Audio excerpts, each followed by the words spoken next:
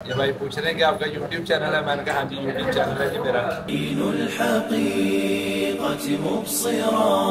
बिल्कुल देख सकते हैं, मेरी बैक साइड पे ये मस्जिद है। और यहाँ पे देखिए कि ये ना जो भी आता है ना रेस्टोरेंट में, उसके आगे प्लेट रख देते हैं अभी वैसे समझ नहीं आ रही थी, वो कह रहे हैं कि इनमें से कोई देख लें।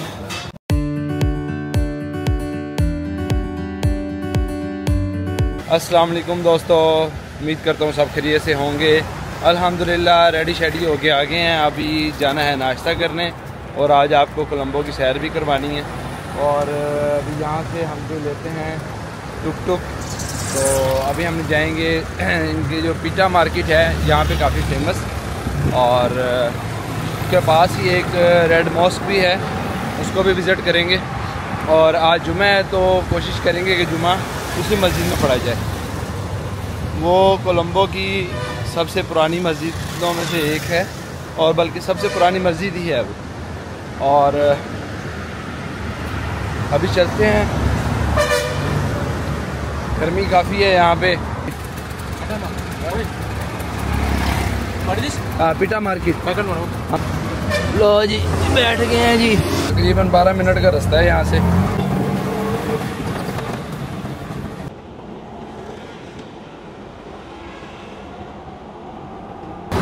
अच्छा मुझे लगा था कि यहाँ पे ना मार्केट बंद होती है तकरीबन जुमे को। तो लेकिन मैंने इससे पूछा है, वो कह रहा है कि मार्केट नहीं बंद होती यहाँ पे किसी दिन भी। ये जो शॉप्स हैं, ये शायद जुमे के बाद ओपन होंगी। तो अभी पिटा मार्केट में जा रहा हूँ, वहाँ पे रेड मॉस जाएँगे।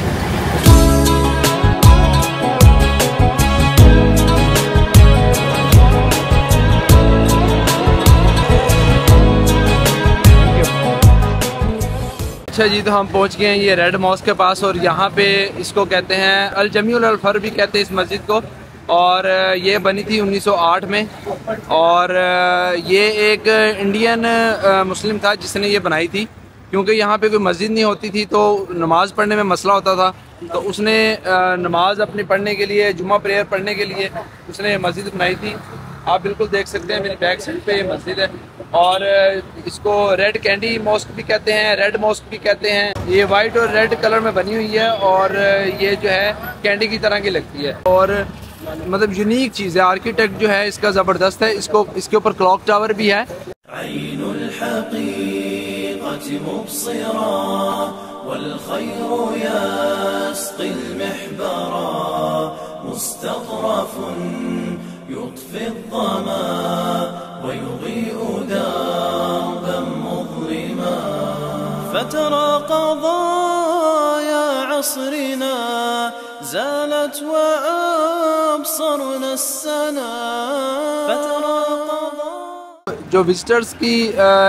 एंट्री है वो गेट नंबर थ्री से होती है तो अभी मैं देखता हूँ गेट नंबर थ्री किस तरफ से जाना है तो गेट नंबर थ्री में चलते हैं और वहाँ से देखते हैं वैसे तो आज जुमे है, शायद जुमे के लिए बंद ही ना हो लेकिन देखते हैं अगर ओपन हुई तो अंदर विज़िट करते हैं। टुडे क्लोज और open today is 4.30 open. Four thirty evening and Friday prayer time Time? Is 1 o'clock. One o'clock okay thank you अच्छा भाई आज तो बंद है। पाकिस्तान। पाकिस्तान। होटल तो है ये पूछना पड़ेगा हलाल है कि नहीं? निजमाया। के अलावा एवरीथिंग हलाल हलाल फ़ूड एवरीथिंग ओके तो जी, भाई हलाल ही है, यहाँ पे बैठते हैं। और, देखते हैं जी क्या मिलता है। अच्छा भाई, वैसे समझ नहीं आ रही थी, वो कह रहे हैं कि इनमें से कोई देख लें। अच्छा मैंने भाई ये पराठा और ये चिकन कड़ी मंगवा ली है साथ। और ये आ गया अपना पानी। तो अभी खाते हैं टेस्ट करते हैं। कैसा है? अच्छा एक चीज़ मैंने यहाँ पे देखी है कि ये ना जो भी आता है ना रेस्टोरेंट में, उसके आगे प्लेट रख देते हैं। एक जिस तरह एक एक प्लेटर होता है वैसे। तो मेरा ख्याल है कि उस बंदे ने जो भी खाना है या जितना भी खाना है। वो इसमें से खा ले। और ये देखें, इस तरह ये प्लेटर है। और पहले भी मैंने देखे एक दो बंदे खा के पैसे दे के चले गए, लेकिन वो प्लेट ख़त्म नहीं हुआ था। तो मेरा ख्याल है कि उसमें से जो जो उनको पसंद होगा, वो खा लेते होंगे, उसके पैसे दे देते होंगे। कुछ ऐसा सीन लग रहा है।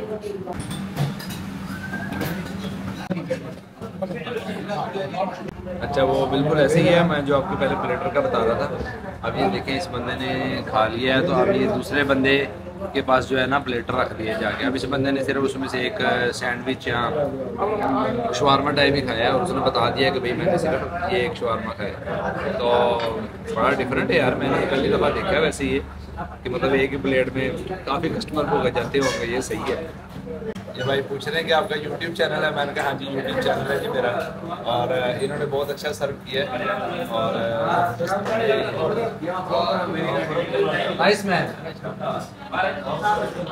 तो इसको भाई जी यूट्यूब में लेके आएँगे चैनल में। तो बहुत खुश होते हैं भाई कि हमें भी यूट्यूब में लेके आओ साथ वीडियो में।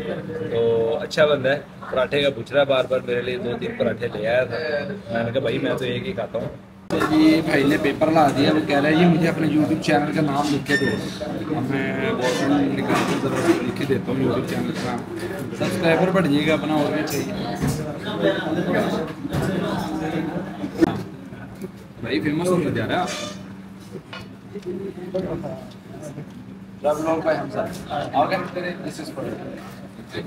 चलें जी नाश्ता वाश्ता हो गया अल्हम्दुलिल्लाह यहाँ पे अभी जो है वो गेट ओपन होगा तकरीबन साढ़े दस होने वाले हैं।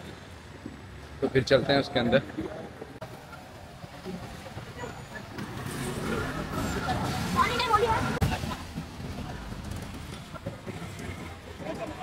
अच्छा मैंने मार्केट वैसे विज़िट की है, ये ना ज़्यादातर है होलसेल मार्केट। लाइक जिस तरह हम शालमी जाते हैं तो वहाँ पे लोग जो हैं, वो सिंगल पीस नहीं देते जल्दी ना वो कहते हैं कि हम होलसेल करते हैं।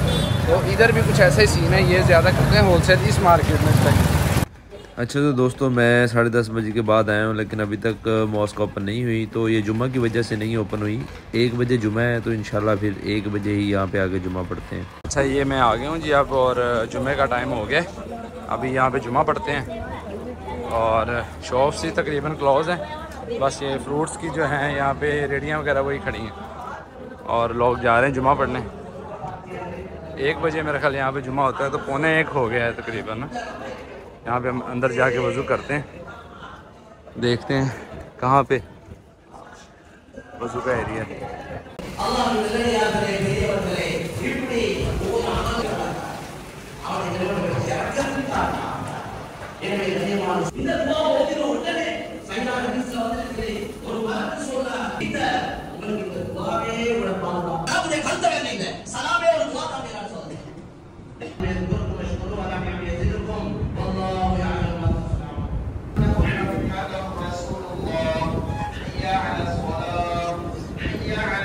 तो दोस्तों मैंने जुमा अदा कर लिया अल्हम्दुलिल्लाह। अभी इस टाइम मैं मौजूद हूँ रेड मॉस्क में और बहुत ही ज़बरदस्त मस्जिद बनी हुई है यार। ये, और मुझे जो है फोर्थ फ्लोर पे आके जो ना मुझे जगह मिली है। माशाल्लाह, यहाँ पे बहुत लोग नमाज़ पढ़ने आते हैं स्पेशली जुमे के टाइम और ये ओपन भी जुमे टाइम हुआ है, साढ़े दस बजे ओपन नहीं हो सकता। तो अभी मैं थोड़ा सा दिखा देता हूँ आपको, अभी मैं फोर्थ फ्लोर पर ही।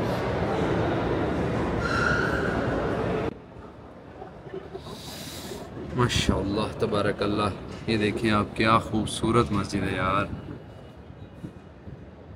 मैं अभी बालकनी में जाता हूँ, वहाँ से दिखाता हूँ आपको। ये इसका क्लॉक टावर है।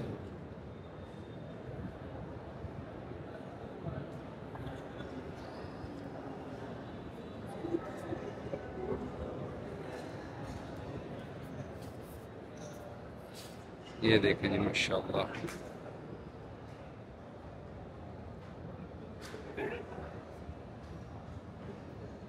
अभी तक लोग वापस निकल रहे हैं, तकरीबन जुमा हुए को आधा घंटा हो गया मैं यहाँ पे बैठ गया था, यहाँ पे थोड़ी रेस्ट की है और बहुत ही पुरसकून माहौल है अंदर। और यहाँ पे बैठा हुआ था, मैं काफ़ी देर बैठा रहा हूँ। तो मस्जिद का मैंने कहा आपको ज़रा टूर दिखा दूँ, क्योंकि जो इनकी टूरिस्ट वाली साइड है गेट नंबर थ्री तो वो आज क्लोज़ है, वो शाम को ओपन होगा चार पाँच बजे जो है ना। तो उस तरफ़ तो फिर मैं नहीं जा सकूँगा, बस मैंने जुमा अदा किया है, अब मैं होटल जाऊँगा। और होटल के बाद जो है मैं थोड़ा रेस्ट करके शाम को फिर निकलेंगे। दो तीन प्लेसेस रह गई हैं देखने वाली, वो मैं इंशाल्लाह फिर आपको दिखाऊँगा। और ये इसका जो है क्लॉक टावर है मैं दिखाता हूँ आपको। माशाल्लाह, बहुत ही खूबसूरत मस्जिद है यार, और क्या ही नफासत से काम हुआ हुआ है। कलर कॉम्बिनेशन इतना प्यारा है, इसका असल में ये कलर कॉम्बिनेशन की वजह से ही फ़ेमस है। और जब आप मस्जिद में आते हैं तो ये आपको एक इस तरह का बैग दे देते हैं, इसमें आप अपने शूज़ रख लेते हैं। और साथ साथ आपके शूज़ रहते हैं क्योंकि आपको जगह पता नहीं कहाँ पे मिले। तो फिर शूज़ और आपकी जितने भी बैग वगैरह चीज़ें होती हैं वो आप अपने साथ ही रखते हैं। तो आ, मुझे जैसे फोर्थ फ्लोर पे आके जगह मिली थी। तो इसलिए अब मेरे साथ ही है शूज़ नीचे जाके पहनते हैं। और इनका जो वज़ू का सिस्टम है वो मुझे बहुत अच्छा लगा है। वहाँ पे मैं आ, मैंने वीडियो बनाई है उसकी वैसे तब रश था। मैं दिखाऊँगा जैसे एक वो तालाब टाइप होता है ना उस जो पहले ज़माने में चलता होता था।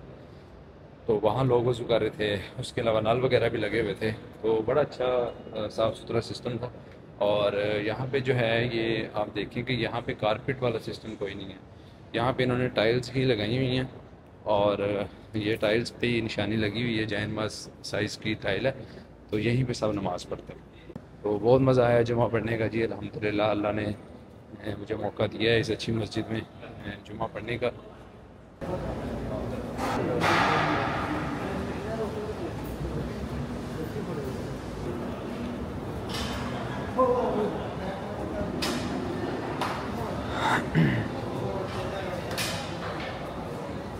ये इसका मेन एरिया ये मैं इसकी बात कर रहा था। ये देखें, माशाल्लाह, ये यहाँ पे वज़ू एरिया बनाया हुआ है और इसके अंदर जो है नल वगैरह लगे हुए हैं। वहाँ पे भी वज़ू कर सकते हैं और यहाँ पे भी कर सकते हैं।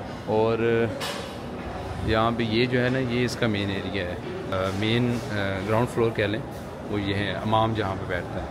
और, ये आप देखें, माशाल्लाह इसके एक, दो, तीन, चार, पाँच, छः छः फ्लोर है माशाल्लाह इसके। और, ज़बरदस्त है यार।